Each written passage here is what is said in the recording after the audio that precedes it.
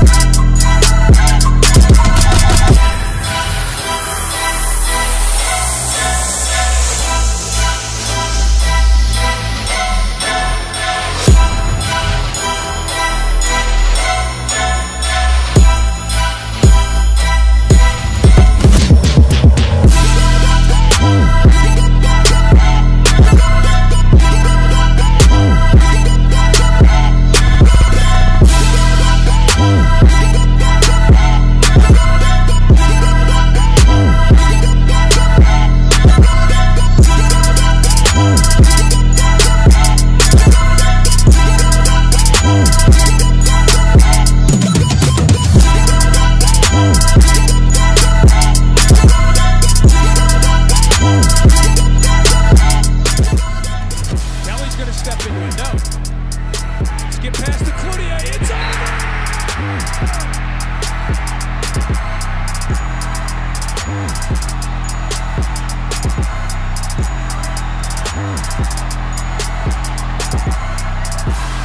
In a city famous for climbing the steps, North Carolina has once, once again taken the final one to the top of the lacrosse world.